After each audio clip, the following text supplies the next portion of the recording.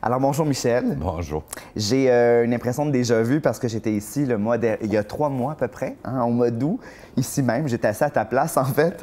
Et là, depuis, depuis deux mois, il est arrivé plein de choses dans ta vie. Le prestigieux prix de Monaco qui saluait ton œuvre.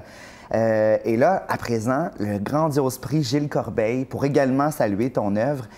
Et c'est la raison pour laquelle je m'entretiens avec toi aujourd'hui. Donc, j'aimerais savoir, deux mois plus tard, le jubilé, Michel, comment, euh, comment, comment tu te sens devant tant d'amour, euh, devant toute cette reconnaissance-là qui te tombe dessus? Est-ce que tu Ben, tombes des nues devant tant d'amour? Ça arrive à point nommé parce qu'effectivement, euh, comme je, je le disais il y a quelques mois, le chiffre 75 me faisait peur. Je trouvais ça, je trouvais que j'avais l'impression que c'était comme le début de la fin. Euh, mais avoir des cadeaux aussi importants pendant ton début de fin, euh, ça soulage. quand même. C'est un- début de disons que c'est un beau, un, beau, un beau baume sur mes 75 ans. Euh, mais que les deux arrivent comme ça en même temps, c'est assez. c'est- un petit peu difficile à prendre, je dirais. Avec humilité. C'est ce que j'ai senti en lisant. C'est difficile d'être humide. c'est un petit peu difficile de, de- de l'humilité, euh, mais oui, oui. euh, deux, tu dis je les mérite pas. Un, tu dis ah ben c'est le fun, Un, l'un ou l'autre, là, Ouais. c'est des, des prix extraordinaires. Mais deux, en même temps, tu dis est-ce que je mérite vraiment euh, tout ça? Mais bon. Tu le mérites, tu le mérites, je le dis. Euh, tes, pièces, tes pièces de théâtre sont, sont jouées aux quatre coins de la Terre, tu le sais bien. Tes romans sont lus, sont étudiés, sont, sont décortiqués. Euh, ton œuvre est célébrée partout.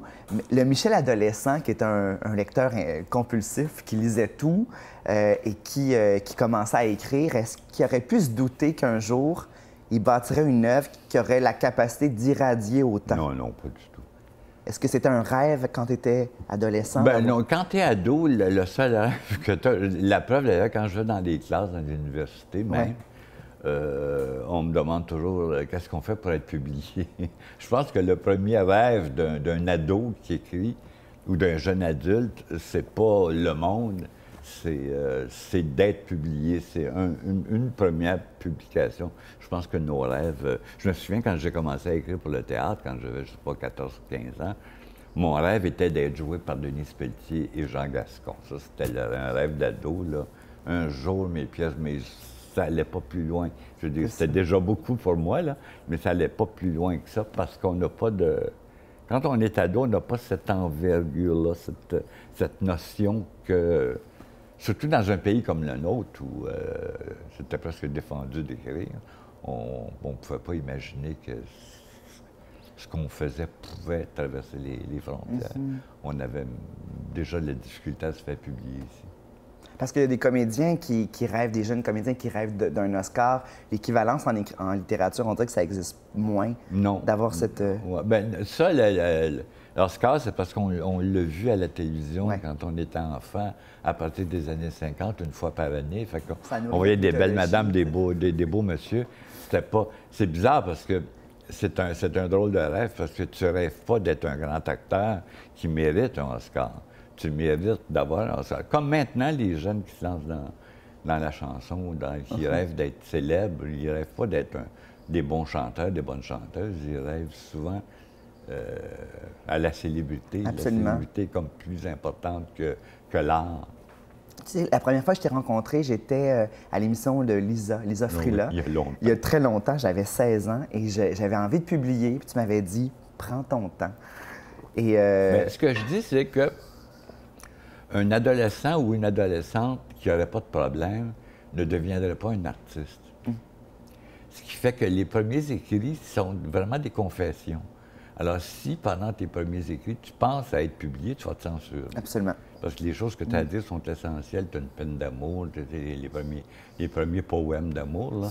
Si tu pensais qu'ils qu'ils- qu'ils allaient être peut-être publiés, c'est sûr que tu, tu te censurerais. Tu ne dirais pas toute, toute la rancœur, que toute la peine que, que tu ressens. Tu ne les confierais pas à la page blanche parce que quelqu'un d'autre, euh, éventuellement, euh, va le lire. Euh, Michel, ton œuvre est colossale, mais aujourd'hui, en 2017, euh, est-ce qu'il y aurait une œuvre dont tu serais particu- particulièrement fier et peut-être même que ça pourrait changer avec le temps. Tiens, aujourd'hui, est-ce que c'est les mêmes œuvres qui résonnent dans ton cœur Ben, ou c'est des œuvres plus... Moi, je me relis pas, je me- sauf quand les, euh, les éditions de poche de mes livres vont sortir, évidemment, il faut que tu les relises. Et, Chez Nomade, par exemple. Donc, quand tu te relis, des fois, tu as des choses que... Par exemple, dans la, la diaspora des Desrosiers, j'ai toujours pens- pensé que le troisième, la traversée du- des sentiments, était, j'allais dire, le plus faible. Pas le plus faible, mais disons le moins fort. Et quand je les ai relus, je suis tombé amoureux de ce livre-là. Maintenant, je considère, après l'avoir relu Ouais. l'année dernière pour le Thésaurus, euh, je le considère comme un des meilleurs de- de- de- des, neuf, des neuf livres. Il y a des choses que j'avais oubliées. Il y a des. Oui, il y a des, des, euh, des espèces d'analyses de personnages ben, qu'on oublie. C'est euh, Oui. c'est normal. Tu puis t'en oublies des bouts. Et euh, Tu fais le en ménage, ça, je me disais, mon Dieu, c'est donc, c'est donc bien beau. Je peux pas dire que c'est bon, tu le sais pas, c'est pas toi qui vas décider ça, c'est les autres. Mais quand, euh, quand je trouve ça beau, euh, je suis très content. Quand je me relis et que je trouve ça encore beau, je suis très heureux. Et en ce qui concerne le théâtre, quelle pièce résonne beaucoup encore aujourd'hui pour toi?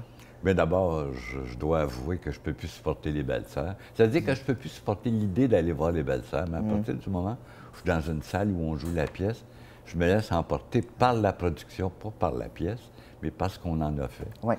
Et il y a une pièce que je trouve très importante, qui est une pièce méconnue et même inconnue, qui est Les Anciennes Odeurs, qui, est, euh, qui a été écrite en 81, juste avant le moment où on a nommé le sida. Et c'est comme, je l'ai vu à Paris la- l'année dernière, puis c'est comme un, un cri d'alarme du sida qui s'en vient, cette pièce-là.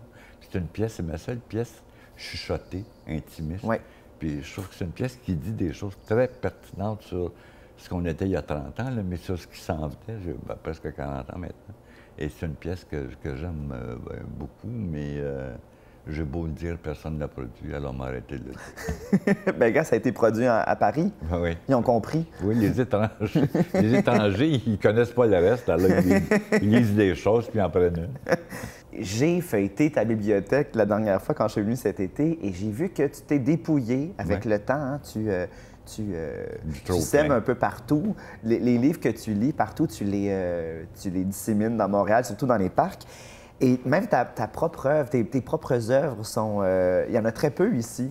hein. la plupart sont chez Goodwin.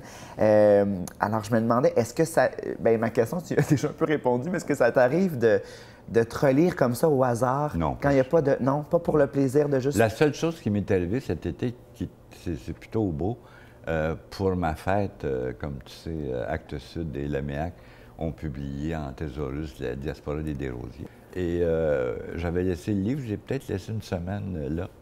Puis je lisais ou je regardais ma, ma tablette, puis de temps en temps, je mettais mon livre de côté, je me penchais, je le prenais dans mes mains, puis je lisais au hasard, c'est 1400 pages. Puis chaque fois, j'en re- j'en revenais pas d'avoir pondu ça.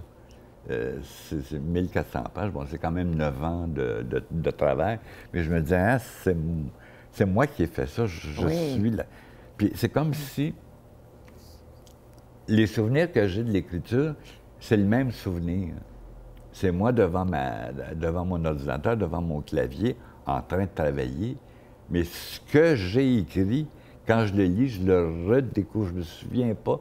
Je me souviens pas d'avoir écrit les choses. Des fois, de temps en temps, j'ai un flash, je me dis Ah oui, je me souviens quand j'ai trouvé euh, quoi, quoi faire dire à ce, personnage-là? Mais mais c'est vague, c'est pas. euh, J'ai pas de, je sais pas si c'est comme ça pour toi. J'ai pas de souvenir précis de, de- de mon écriture. Moi, souvent, je m'étonne. Je, je- je redécouvre. que- C'est comme s'il y a un recul, puis Ouais. tu découvres, tu fais Ah, Ouais. j'ai ça, moi, ce feeling-là, j'ai écrit pas, ça. Tu peux pas te souvenir de tout, de toute Non, façon. non, non, mais à un moment donné, on emmagasine, mais on, on libère aussi notre esprit pour. euh, Mais, mais toi qui as tant aimé Balzac et, et Zola, il doit avoir un, un bonheur de, de cette, Oui, l'épaisseur du livre. Oui, forcément, je, je- je- Sans rêver à- de faire euh, des, euh, des sagas comme ça, j'en ai fait. j'en ai fait. Sans dire Ah, je vais commencer maintenant une saga. Parce que les deux que j'ai faites n'étaient pas planifiés. La grosse femme, Ouais. il devait y avoir un livre ensuite deux. Euh, la, traversée du continent, du continent, je savais que Nana partirait de l'Ouest, puis qu'en arrivant ici, il arriverait des choses. donc, ça prendrait plus qu'un livre, mais pas neuf. C'est en développant les personnages de mes, de, mes, de mes grands-tantes, et tous les personnages qu'il y a autour, euh, que j'ai eu envie de, de continuer et d'élargir plutôt que de partir d'une petite fille avec sa mère. Enfin, je mhm. suis parti d'une petite fille avec sa mère, de d'élargir ça autour et de rendre le autour, justement, ou l'autour, euh, aussi important que les deux, les deux piliers. Hmm. Mais en fait, c'est ça, bâtir une œuvre, hein, c'est petit échelon par échelon, puis c'est petite brique par petite ben, brique. C'est-à-dire que c'est drôle parce que quand on, achète euh, les Uruguay-Macquart dans la Pléiade, au début, tu as le plan que Zola s'était fait. Zola savait qu'il y en aurait 20, et puis il, avait fait le plan. Ça, j'en revenais pas, un tel, un tel, un tel. Et au milieu, au, au troisième livre, tu as un deuxième plan, parce que lui-même s'est fait prendre à, son jeu. Il a inventé des personnages, il a mis au monde des personnages qui lui ont donné des idées puis qui ont fait partir dans une direction ou dans l'autre. Alors, il est obligé de publier un deuxième arbre généalogique et, euh, un deuxième plan parce que le premier était plus, était, obsolète. Fait que même quand tu planifies, euh, moi, j'aime pas que mes personnages essaient de me faire emprunter euh, une avenue que, je ne veux pas emprunter, là.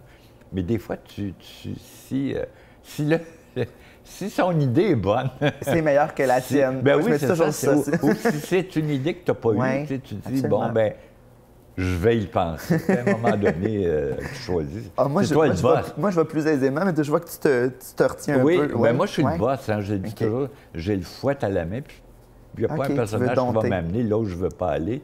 Mais des fois, tu dis, ben, euh, Redition, comme disent en ah, moi, j'aime ça, me laisser porter.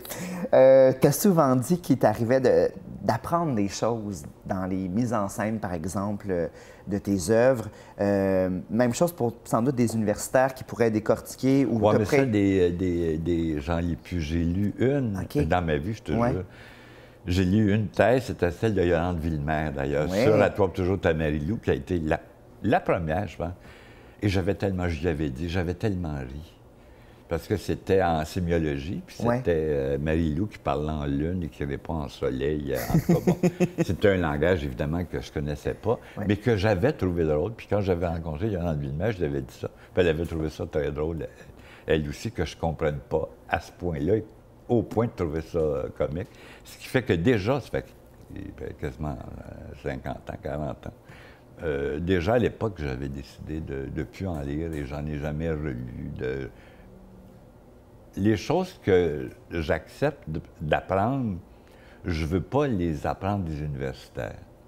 Parce que c'est des choses, tu sais, quand on dit qu'il y a des choses que les auteurs ne devraient pas savoir, bien, je ne veux pas qu'on me les dise. Au théâtre, c'est pas la même chose parce que c'est dans l'interprétation. C'est que ils, t'apprennent une subtilité dans une phrase. Des fois, tu dis, oh, ben, gondon, tu sais, la force de la voix, de l'interprétation, c'est incroyable. Ben, c'est L'acteur, l'actrice dit une réplique d'une façon que jamais entendue, puis tu dis, ça peut vouloir dire ça aussi. Les Ça, c'est la force de l'acteur. Ça ne veut pas dire de prouver le contraire de ce que tu voulais dire toi, là, mais de trouver une nouvelle subtilité. Ça, je trouve ça passionnant. Et dangereux. Des fois, ça me fait peur parce que tu dis, euh, comme je viens de dire, on pourrait monter une pièce avec des, grands acteurs qui prouvent exactement le contraire de ce que l'auteur a voulu dire par la seule force des intonations. Absolument.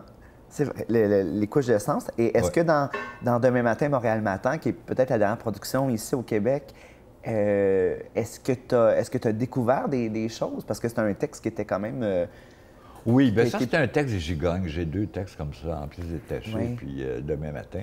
C'est des textes euh, auxquels on peut faire ce qu'on veut. On peut les changer les affaires de place. Alors, chaque fois qu'il y a une production, demain matin, quand Denise Filiato l'avait monté il y a 25 ans, j'avais aussi appris des affaires, mais vu des, choses. Puis là, comme René Richard, j'y ai donné la permission de vraiment brasser. De, Moi, j'aime bien qu'on me brasse la cage. Ça, je, je te l'ai souvent dit. Et là, il a vraiment beaucoup brassé, la cage. Alors, c'est pas que tu apprends des choses sur des personnages, parce que c'est pas des personnages très, très fouillés, c'est pas des personnages... Euh, c'est pas des, dans, mes meilleurs personnages, mais tu apprends des choses dans le fun. C'est un spectacle, le, fun dans le bon sens du mot, euh, du mot fun, comme euh, Enfin signifiant, qui va jouer chez Duceppe bientôt. c'est... Conversation Ce que j'appelle plus, oui, une adaptation de conversation. C'est ce que j'appelle plus un divertissement qu'une pièce. C'est fait pour avoir du fun, puis c'est fait pour que les gens qui vont lire ou qui vont venir voir la, pièce aient aussi du fun. Alors, ça n'a pas la prétention d'être des pièces importantes ou sérieuses. Absolument. Euh, j'ai envie qu'on parle un peu de la famille dans, ton œuvre. C'est euh, la pierre angulaire un peu. Et euh, tu as commencé à écrire, tu as publié beaucoup des œuvres familiales après la mort de tes parents. Est-ce que euh, si tes parents avaient été en vie, est-ce que tu te serais censuré, tu aurais été... Ah oui, euh, absolument. Oui, j'aurais pas écrit Les Belles-Sœurs si ma mère était vivante. Euh, pas parce que moi, je, pensais que j'insultais ces femmes-là ou que je les aimais pas, mais de peur qu'elle le pense. quand elle a été partie, que c'est elle qui m'a montré la vie. Ça, bon, tout le monde le sait, on ne s'embarquera pas là-dedans. Mais j'aurais eu eu peur qu'elle pense que je l'avais pas comprise ou que j'avais mal, elle m'avait mal enseigné ou euh, je... oui, je me suis censuré. Toute la pièce Le Vrai Monde, un peu. Oui, oui, absolument. Qui a été écrite euh, par pure culpabilité. Oui, absolument. Mais est-ce que, quand même, tu crois que la, vampirisation des gens qu'on aime, c'est possible? Parce que tu dois quand même ben, certainement C'est possible, mais est-ce qu'on a le droit de le faire? C'est la question que quand c'est fait avec amour. J'avais trouvé une, réponse, mais que je trouve prétentieuse. Je disais, oui, on a le droit de vampiriser si ce que tu fais avec est bon. mais là, qu'est-ce qui est bon, qu'est-ce qui n'est pas bon? C'est comme je disais tout à l'heure, c'est pas toi qui décides, alors. Mais, mais c'est l'excuse que je me trouve, euh, que je me suis trouvé à moi pour continuer. Michel, tu es, un très grand lecteur, on le sait tous, tu lis beaucoup, puis tu lis aussi beaucoup des œuvres euh, contemporaines, pas que des classiques, tu lis beaucoup d'œuvres contemporaines, tu alternes, puis aussi des œuvres, des premiers romans, entre autres, des, euh, de jeunes auteurs québécois notamment. La preuve. La, preuve, j'en suis. Hein. En 2009, j'ai écrit mon premier roman, puis tu m'as écrit un très beau courriel. Euh, et je pense que tu fais toujours ça. Tu, quand on parle d'un livre, tu, tu as cette curiosité-là.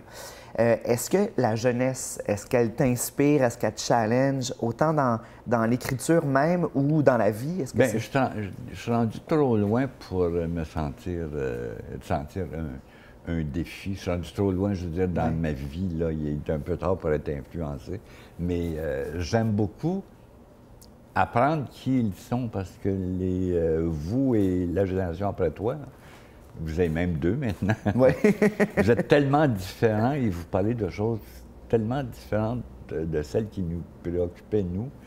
Le plongeur, par exemple, que j'ai oui. ça, j'étais absolument fascinant parce que c'est un livre impensable il y a 50 ans. Quelqu'un qui parle de soi comme ça à ce point-là, puis d'une espèce d'enroulement sur soi-même, puis d'auto-analyse, puis, de répéter les mêmes affaires, d'en ajouter chaque fois, mais bon, euh, tout ça. Euh, c'est nouveau et c'est absolument euh, fascinant. Ou Audrey Wilhelmy, qui écrit des livres qui se passent partout sauf au Québec, et d'une curiosité et d'une beauté euh, incroyable. Alors, j'aime... Les univers. Oui. Ouais. Et j'ai toujours... J'ai longtemps lu de la science-fiction puis du, fantastique. J'en lis moins maintenant. à 75 ans, je pogne moins cette littérature-là, parce que j'ai toujours euh, admiré l'imagination. Euh, j'aime qu'on invente un monde dont je sais qu'il est faux, mais euh, auquel on me fait croire par le talent et l'imagination. Le Seigneur des Anneaux, là, ça n'a pas d'allure, mais j'ai lu ça en un mois, les trois volumes, absolument pâmés tout le long, en admirant. J'aime admirer tu sais, quand on dit que l'amour, c'est aussi l'admiration. Ah oui. À partir du moment où, où tu n'admires plus euh, ton chum ou ta blonde, la tu, flamme, les, les aimes plus. C'est la même chose en littérature. J'aime admirer. Quand j'ai lu le premier livre de Sylvie Drapeau, il y a, deux ans, par exemple, euh, une fille que je connais, que j'ai fréquentée, qui a joué dans mes pièces, et de découvrir un auteur avec un tel talent, c'était une nouvelle admiration. Et ça, j'aime ça beaucoup, Hmm. beaucoup. Mais quand je suis déçu, je suis bien déçu. quand on me parle d'un nouveau livre, je le lis, je le trouve plate, le oh boy. T'en parles pas dans ce temps-là. Là, entre euh, Rita Lafontaine et Guylaine Tremblay, il y a plusieurs grandes comédiennes qui, qui ont interprété Nana. Louison Dany. Louise Ondani, qui était était fabuleuse formidable. aussi. Euh, donc, Nana, qui, qui a, qui a un verbe sur scène, un verbe vif, qui est doué pour l'hyperbole, hein, exagère tout le temps. Euh, Est-ce qu'il t'arrive, Michel, de, de, de mêler, de fusionner un peu le souvenir de la voix de ta mère avec celle de toutes ces actrices-là qui l'ont... Ça fait longtemps qu'elle est décédée. Des fois, je pense que la voix peut peut-être se- Ouais, s'évaporer un peu. Avec le temps, ouais, avec le temps, c'est devenu un personnage. Ce n'est plus ma mère. C'est ce que je dis aux actrices. Chaque actrice qui joue Nana m'appelle à un moment donné ou m'envoie un, un courriel en me disant est-ce que je faut que je ressemble à ta mère? Puis ce que je leur réponds toujours, c'est non. Joue la pièce que j'ai écrite. Euh, Moi-même, je ne crois plus que ce que je dis de ma mère est vrai. C'est parti encore là. C'est parti de choses, de, de souvenirs.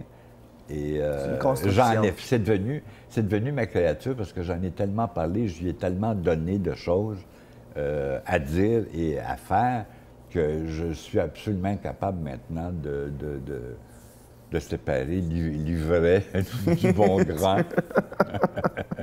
Mais ça n'a pas, ça a aucune espèce d'importance parce que c'est de la littérature. La littérature, c'est le fun parce que c'est, c'est pas la vie, puis c'est la vie. Moi, quand je pense à, à Michel Tremblay enfant, je peut-être j'ai tort, mais je l'imagine toujours euh, euh, beaucoup dans la cuisine, dans, dans- dans la salle à manger, en dessous de la table. Euh, J'aime beaucoup cette image-là en train de regarder toutes les jambes, un Oui. paysage de jambes et des voix qui résonnent un peu. On voit pas les voix qui sont pas associées nécessairement au visage. Et je me demande, est-ce que, euh, si c'est le cas, est-ce que ça a été ton premier radiothéâtre, de juste entendre les voix en dessous de la table? Ah, probablement, j'y avais pas pensé, mais oui, oui, sans doute. Euh, c'était des voix que je connaissais plus que les voix que j'entendais euh, à la radio, mais c'était toujours, en tout cas, c'était toujours intéressant. Ça m'intéressait euh, toujours, alors probablement que oui, j'ai déjà, je commençais déjà à fabriquer aussi des histoires à partir de ce que j'entendais. Tu as souvent abordé l'enfance, hein, c'est même euh, beaucoup au cœur de, plusieurs récits, entre autres. J'ai Bonbon assorti avec moi, entre autres. Bien, il y a aussi, en a plusieurs autres, mais dans Bonbon assorti, je trouve que tu écris quelque chose de très, très beau que j'aurais envie de te citer. Alors, je te cite Une poupée ordinaire ne dégage pas ce genre de candeur. On l'aime pour sa ressemblance réaliste et un peu plate avec la vraie vie, mais un ourson en peluche est tellement plus vulnérable, plus aimable au fond. Un ourson en peluche s'adresse à l'imagination et tout ce qui s'adresse à l'imagination est plus aimable, admirable. Je trouve que tu résumes bien la magie de l'enfance. Puis je me demande, mais pourquoi tu n'as jamais tenté d'écrire véritablement, spécifiquement pour la jeunesse? Ça, c'est une spécialité. Euh, c'est pas parce que tu es capable de parler de ton enfance ou de l'enfance que tu es capable d'écrire pour les enfants. Je laisse les spécialités. Comme la télévision, j'ai essayé ça une fois, puis je me suis rendu compte que j'étais pas bon. Que je, C'est pas ce ton que j'avais écrit, c'est pas ce que j'ai fait de meilleur. Je suis convaincu que euh, je serais incapable d'écrire pour les enfants parce que, dans mon cas, j'essaierais de plaire. Et je trouve que le pire danger qu'il y ait un écrivain, c'est de vouloir plaire. Alors, quand tu écris pour les enfants, probablement, je ne l'ai jamais essa- essayé, tu essayes de plaire à ces enfants-là, puis je ne veux pas plaire dans ce sens-là. Je suis tombé récemment sur un, un article dans lequel tu parlais de Julien Green. Moi, Julien Green, c'est un de mes auteurs préférés et j'ignorais que c'était un de tes idoles. Je ne savais pas du Ah oui? tout ça. Euh, je moi, je l'ai cité en exergue d'un roman euh, que j'ai écrit. Euh, c'était un, un entretien qu'avec- avec Bernard Pivot et il avait dit, il est tellement brillant, il a dit Je n'ai pas de télé, je l'aime trop. Ah. Et, euh, et donc, j'ai su que euh, j'ignorais que la plupart de. Il a écrit des, des œuvres importantes à 90 ans. 90, 80, 91, 92, 92, voilà. Euh, L'étoile du Sud. bon, j'ai pas lu. Moi, j'ai lu Jeunesse, surtout, tout- beaucoup ses Ouais. journaux. Et, euh, mais là, toi, donc, tu es encore jeune, tu as 75 ans. donc, euh, il te reste beaucoup d'années. Donc, souhaites-tu être capable de prolonger cette créativité-là Oui. au même. avec Mais le oui, d'ailleurs, j'en ai parlé dernièrement. Mes deux idoles dans ce sens-là, c'est Verdi et, euh, Verdi et Julien des- parce que Verdi a écrit ses deux plus grands chefs-d'œuvre à 78 et 80 ans, euh, Othello et Falstaff. Et euh, Julien Green, c'est pas ses plus grands chefs-d'œuvre, mais il a quand même pondu trois romans juste avant de mourir à 90 ans. Alors, euh, je me, je me le souhaite. Je ne sais pas si j'ai le goût. Je ne suis pas sûr d'avoir le goût d'écrire à 90 ans si je me rends là, mais je me, me le souhaite parce que je sais que si je le fais, pendant que je le fais, quelle qu'en soit la qualité, ça va me rendre heureux. Merci, Michel. Je, ma, ma, dernière question, c'était on te souhaite quoi pour l'avenir? Mais là, tu, tu viens de répondre, c'est fabuleux. Tu devances mes questions.